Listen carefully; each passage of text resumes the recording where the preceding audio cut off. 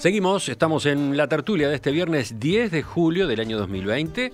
Estamos con Alejandro Aval, Juan Grompone, Susana Mangana, Gonzalo Pérez del Castillo y sumamos también, creo que por la videollamada incluso, a Fernando Medina. ¿Qué tal, Fernando? Buen día. Buen día, Emiliano. Buen día para todos. ¿Cómo ahí, ahí te estamos viendo y escuchando. ¿Por qué llega Fernando Medina? ¿Por qué se suma? Bueno, porque hoy en la tertulia de los viernes, estamos invitándolos de nuevo a escribir. Vamos a lanzar en este preciso instante la segunda consigna del año en el concurso de cuentos de En Perspectiva.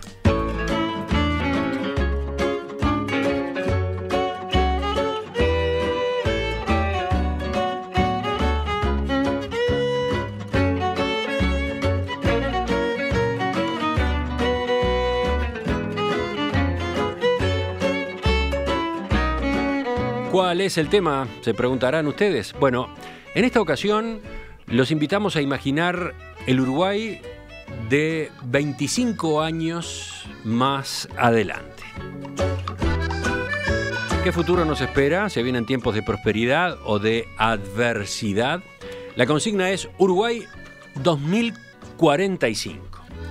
¿Y de dónde sale este tema? Podrán preguntarse ustedes. Bueno, de la Organización de las Naciones Unidas, la ONU, que hace muy pocos días, el 26 de junio, cumplió 75 años. Para esta conmemoración, la ONU está convocando a un diálogo mundial sobre los principales retos del planeta y las soluciones para vencerlos. Durante todo este año, Naciones Unidas recopilará opiniones e ideas, lo hará mediante una encuesta de un minuto en 53 idiomas y diálogos online armados junto a la sociedad civil, medios de comunicación, empresas, entre otros. Las opiniones y las ideas que se generen van a ser eh, presentadas por el secretario general Antonio Guterres a los líderes mundiales y a los altos funcionarios de Naciones Unidas el 21 de septiembre de 2020 en un evento de alto nivel justamente conmemorativo del 75 aniversario. Bajo esa premisa, entonces, bajo la idea de pensar el futuro, en perspectiva, con la iniciativa de Naciones Unidas, los está invitando a ustedes a escribir sobre el futuro, a escribir sobre el Uruguay de 25 años más allá, cuando la ONU celebre sus 100, cuando celebre el centenario. Bueno, ¿cómo les resulta la consigna? ¿Qué dicen ustedes, eh, integrantes del jurado? ¿Qué les aconsejan a los oyentes? Juan, ¿vas primero tú? Sí, este, me parece muy interesante porque casualmente unas semanas atrás se escribió un cuento que pasa casi en esa misma fecha, en el 2044, que va a ser publicado en algún momento. O sea, es un cuento inédito. Inédito, sí. Este, ¿No, te este animás a adelantarlo? No, no, no es un, este es un concurso, es, esta temática es una temática de ciencia ficción o de utopías sociales. ¿no? Y entonces este, hay, que imaginar, hay que imaginar una utopía social, una utopía política, económica, científica o tecnológica, referida al Uruguay. ¿no? Creo que una de las cosas más importantes que hay que hacer es no caer en la trampa de fundamentar lo imaginado. Es decir, uno crea una, se imagina una utopía y sigue para adelante como si, como si estuviera perfectamente fundamentada. Es muy inconveniente fundamentarlo, porque se trata de escribir un relato, no una teoría, ¿no? Entonces, no se debe, no se debe fundamentar por las, porque las razones o mecanismos este, en general se convierten en cosas obsoletas. Si uno escribe un cuento de ciencia ficción, 20 años después queda totalmente ridículo los argumentos que uno dio por, por lo cual eso iba a pasar. Es decir, no hay que fundamentar. De modo que lo que hay que hacer es imaginar, imaginar utopías. Así que eh, esa es tu recomendación, no fundamental. No fundamental. Y, dejar correr a la imaginación libre del punto de vista. Imaginar una utopía de alguna de estas áreas este, y, crear un cuento sobre esa utopía y nada más. Bien. Eh, ¿Otros comentarios de integrantes del jurado? Gonzalo, a ti, el poeta de este, de este grupo, ¿cómo te resulta escribir sobre Uruguay 2045? Bueno, en realidad, a mí, Emiliano, lo que me interesó, bueno, claro, yo no soy indiferente al hecho de que las Naciones Unidas cumplan 75 años. Yo creo que han hecho una contribución enorme a, la humanidad en estos 75 años. Este, y yo creo que deben seguir haciéndola y haciendo una contribución a la humanidad también haría una contribución a... Yo la tomaría quizás eh, tratando de imaginar eh, cómo sería este, nuestros principios democráticos, liberales, en los que tanto creemos, aplicados al mundo. Si cómo sería un mundo este, gobernado democráticamente y no por la ley del más fuerte, porque lamentablemente las relaciones internacionales siguen siendo este, por la ley del más fuerte. Y, imaginarse, hay ciertas cosas que ya son gobernadas mundialmente, ¿no? Cosas como, yo qué sé, la aviación civil, eh, no la gobiernan ningún gobierno, digamos, sino que se gobiernan por autoridades que están por encima de los gobiernos. Pero también eh, la FIFA, las Olimpiadas, Internet, hay muchas cosas que ya son gobernadas y que no restringen nuestras libertades para nada. Entonces eso es una cosa que uno podría imaginar. ¿Qué sería un mundo dentro de 25 años si aceptamos este, el derecho como este, el derecho internacional en este caso, como el que, el que rige y no la ley de más fuerte? Otra sería las cuestiones tecnológicas a las que Juan también apuntaba, este, simplemente y tratar de imaginarse eh, qué es lo que puede pasar dentro de 25 años, porque en realidad, si hace 25 años nos hubieran dicho lo que iba a pasar hoy, eh, hubiera sido imposible imaginárselo. Yo no me hubiera ni cerca imaginado de todo lo que está pasando. y después una tercera beta puede ser la catastrófica, ¿no? ¿Qué pasa si no, si no hacemos algo con todas estas pestes y, y, cómo puede, digo, la, extinción de las especies, la, extinción del mar, eso, la catastrófica podría ser una tercera beta. Esas son las cosas que se me ocurrieron que me gustaría escribir. Está bien. Eh, una aclaración antes de seguir.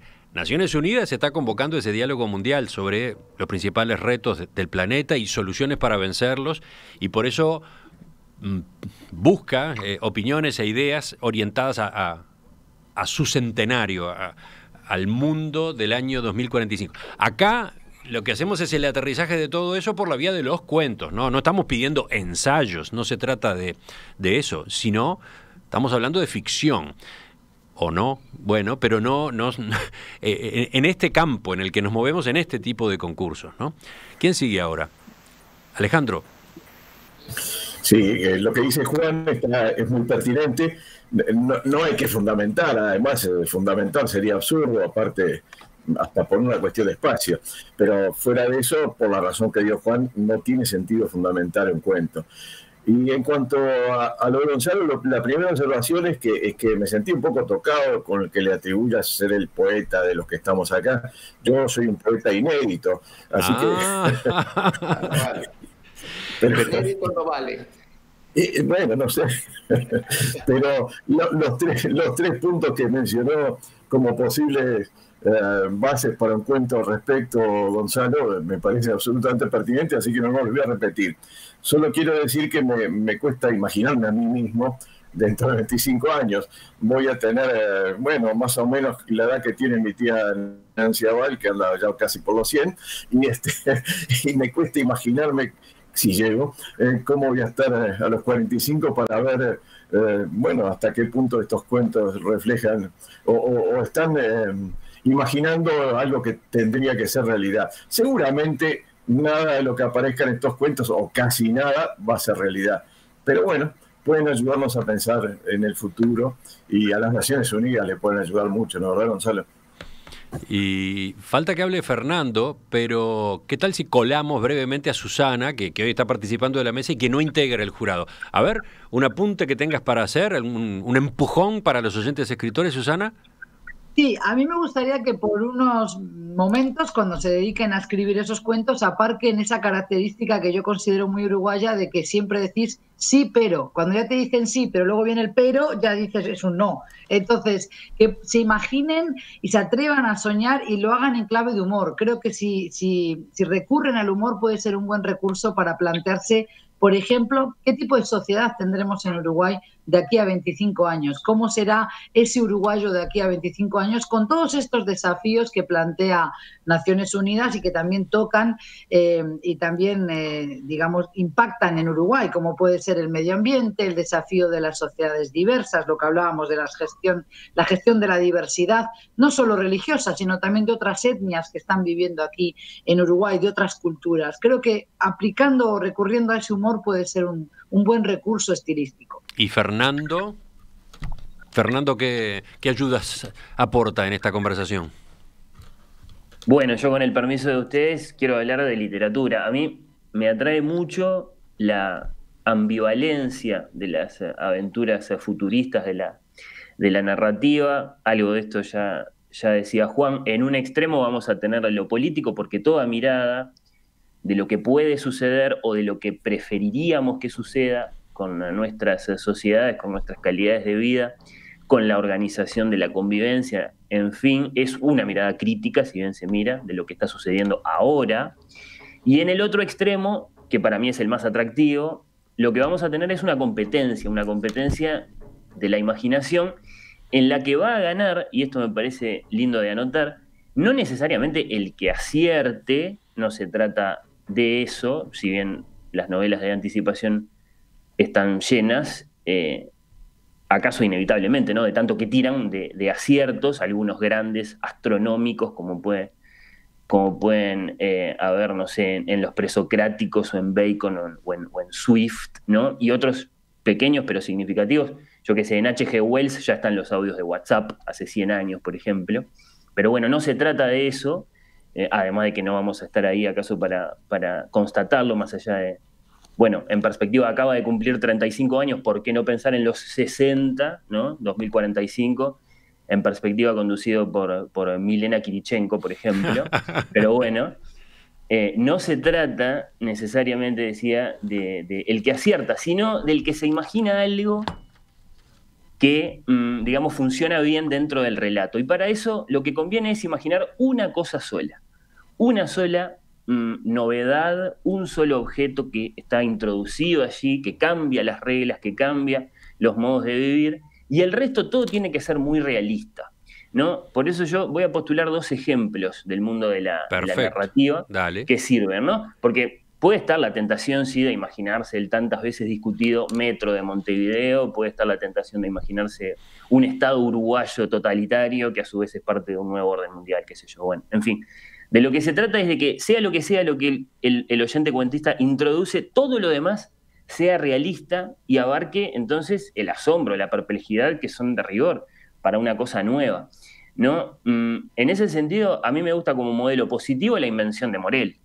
Bioy Casares ahí dice, mm, me asombran los espejos que guardan las imágenes de los seres humanos. Me asombra la radio, ¿no? Estamos a principios del siglo XX, que guarda la voz, de los seres humanos. ¿Por qué no imaginar una máquina que guarda lo que percibimos a través de todos los otros sentidos y de pronto reproduce entonces una imagen completa de lo real que no es real, ¿no? Y esa es la invención de Morel. Luego, la novela es la historia de un personaje asombrado por esta invención que tiene la, la, virtud de ser con el tiempo eso que nosotros llamamos ahora la realidad virtual, ¿no? Ese es un ejemplo positivo de cómo, digamos, este, eh, presentar una, aventura futurista en una narración. Un, ejemplo positivo puede ser la película Her, de la que algunos se acordarán con Joaquín Phoenix. Es un futuro ligeramente cercano, como el que hay en Black Mirror, por ejemplo, que es otra buena referencia. ¿no? Ahí el celular es apenas un audífono y después una tarjetita que va en el bolsillo de la camisa. Eso está bien, porque si pensamos en cómo han avanzado los celulares de 10 años a hoy, dentro de 25, van a ser sin duda mucho más sutiles y, sorprendentes que los nuestros, pero no tanto tampoco. Pero después se imagina un hombre relacionándose con una computadora, casi como si fuera un ser humano, de tan inteligente que es esa computadora. Y va demasiado lejos porque la computadora es tan inteligente que termina siendo un ser humano más y no se detiene a explorar el asombro de esa relación que para nosotros es muy difícil de imaginar en este momento, ¿no? La relación con una computadora tan inteligente que es casi como otro ser humano, es algo que no tiene cuerpo. Entonces, por ahí dejo dos ejemplos que me parecen útiles para, digamos, encontrar la medida justa de lo que puede representar imaginarse un futuro que no es ni demasiado lejano, ni tampoco es mañana, y que al mismo tiempo tiene que funcionar bien como relato. Mira, desde la audiencia, por ejemplo, aparece el mensaje de Silvio, que propone que con este concurso preparemos después una cápsula del tiempo y guardemos los cuentos para ser abiertos dentro de 25 años y comprobar en qué medida acertaron, se acercaron o no. Precioso. Se llama, libro la cápsula del tiempo, ¿no? o, una, o un archivo digital o un sitio web, ¿no? En el sitio web probablemente queden. Bueno, vaya uno a saber qué puede pasar con, los discos duros, con, con la nube, ¿no? Esa es una buena pregunta. ¿Qué pasará con la nube dentro de 25 años? Esa de la que estamos tan pendientes, a la, a la que estamos permanentemente volcando material y de la cual estamos recibiendo material. Después, pregunta a un oyente, Gustavo, ¿creen que en 25 años va a existir una organización social y económica mejor? ¿En qué gobernará la justicia social? No quiero tildarlos de inocentes, pero... Juan. De eso se trata el cuento, ¿no? De, crear una fantasía sobre el futuro. Y además creo que la pretensión de, predecir el futuro es absurda, ¿no? Así que lo que hay que hacer es imaginación. Jugarse, soltarse, largarse. Sí. Alejandro el poeta, vamos a decirle poeta, el poeta inédito, el poeta al cual al cual vamos a revelar, ¿no? Porque ya quedaste comprometido. Acá hubo dos Acá hubo dos curiosidades que se nos despertaron, ¿no? Una, tenemos que enterarnos de ese cuento que tiene Juan escrito recientemente. No podemos, no podemos publicarlo. No podemos darlo. No, pero, pero no el concurso. Si no, no tiene gracia. No, no, está en fin de siglo. Además, es muchísimo más largo que el cuento. No, no, ya sé, ya sé, pero, pero lo podíamos publicar uno de estos días como referencia. Bueno, y, y los poemas de Alejandro también vamos a tener que conocerlos. Bueno, sí, pero ya, tengo que rescatarlos de la memoria adolescente o al menos juvenil. Bueno, anda dedicando, anda dedicándote a eso y dentro, dentro de unos días este, hacemos el gran lanzamiento de Alejandro Abal Poeta. Pero volvemos, volvemos, a, volvemos al tema de este. ¿Decías?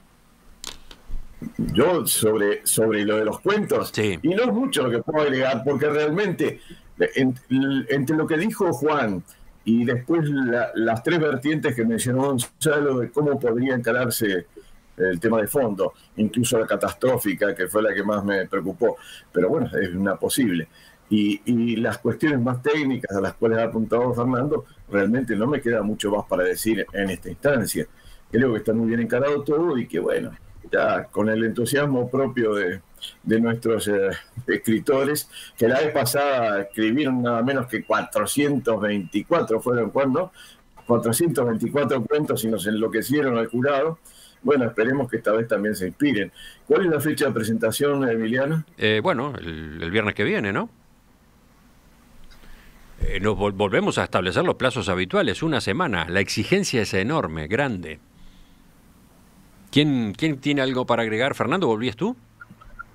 Sí, sí, podría agregar algo, porque hablar de literatura o de cuentos y de, futuro es hablar de Filippo Tommaso Marinetti, que es el creador del movimiento futurista, que no nos dejó nada muy perdurable los, los, los, este, los libros de las vanguardias en general están olvidados hoy, pero sí nos dejó una importante lección, me parece, acaso involuntaria, en, en, su manifiesto futurista que data de 1909, subrayo 1909, porque cuáles eran según Marinetti, las marcas de identidad de aquella época, de aquel amanecer del siglo XX, la máquina y la velocidad.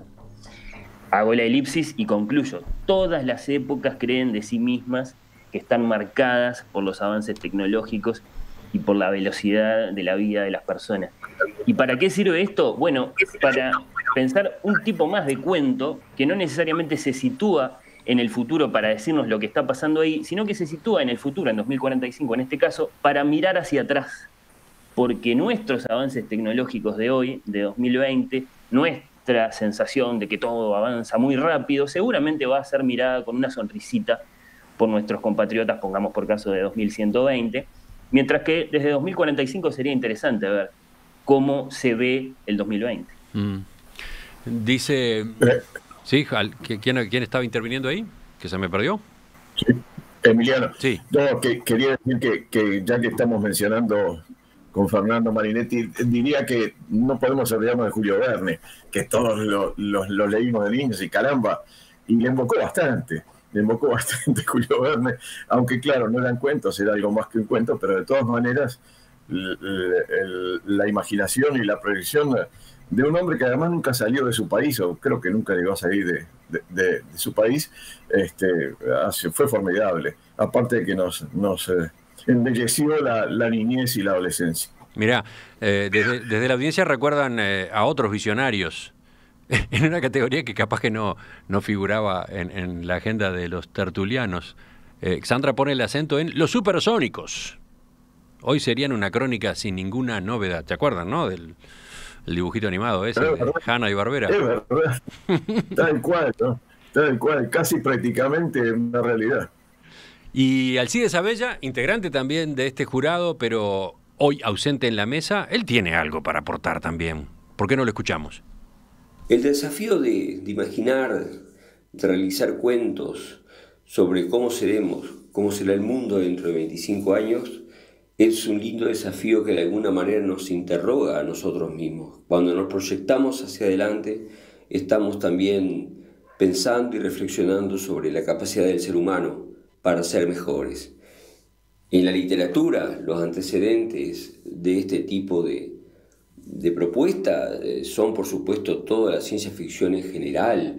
Eh, puede ser el caso de Orwell específicamente, en 1984, o quizás Julio Verne, por cierto, un autor sumamente popular que también este, supo imaginar, pensar, de alguna manera reflexionar sobre el mundo que venía 25 años después.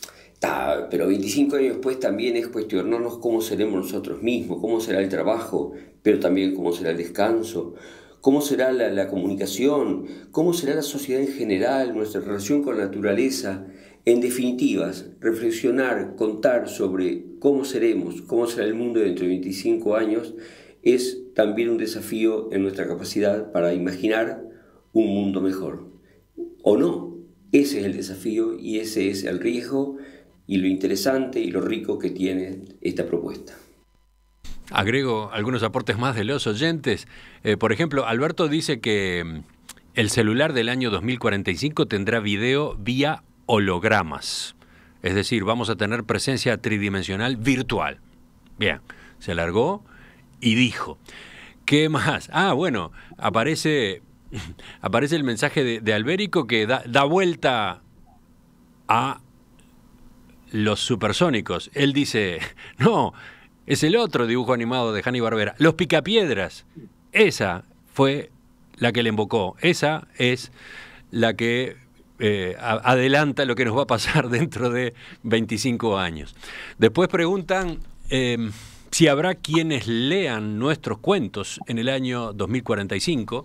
Eh, esa es otra de las preguntas de un celular terminado en 276. Y a propósito de eh, en qué material, en qué soporte hay que guardar los cuentos para ese momento, estaba la pregunta de ¿qué? ¿En un archivo digital, en la nube? No, no, dicen desde la audiencia, no en papel. En papel es lo único que nos da cierta garantía, teniendo en cuenta todo lo que hemos visto últimamente. ¿No, Juan? ¿Tú qué decís? Yo estoy totalmente de acuerdo. Si tuviera que eh, pensar en algo que se conservara 500 años, elegiría tinta china y papel Watman. Eso es lo único que garantizaría con conservarse 500 años. Todo lo demás ha demostrado ser efímero. Mira, acá el, oyente dice, después de Chernobyl, las instrucciones para evitar otro accidente están en papel.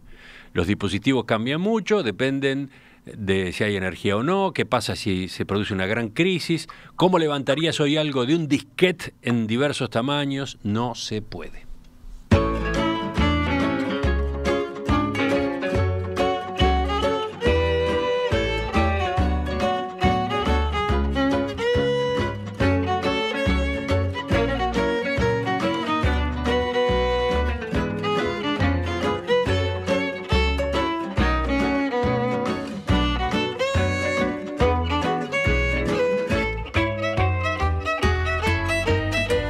Uruguay 2045.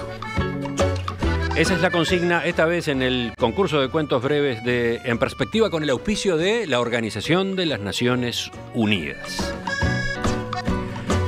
Quienes estén interesados en participar tendrán que enviar sus textos a la casilla cuentos en perspectiva.net desde ahora y hasta las 7 de la mañana del próximo viernes 17 de julio. Ustedes saben, los cuentos deben tener una extensión máxima de mil caracteres. En ese cómputo vamos a tener en cuenta puntuación y espacios, pero solamente los que aparezcan en el cuerpo del texto. Vamos a recibir aquellos cuentos que lleguen y que tengan aparte el nombre, ¿no? En, el texto mismo del archivo lo que tiene que aparecer es el seudónimo. Aparte, en el correo electrónico, los datos correspondientes a la identidad de la persona que realizó el envío. Los premios, bueno, libros de ediciones de la banda oriental, prendas de lana fina de Don Baez, vinos de Jiménez Méndez, productos de cosmética natural de Matías González y un set de café artesanal jurado. Las bases completas, más detalles de las bases en nuestro sitio web en perspectiva, en perspectiva.net.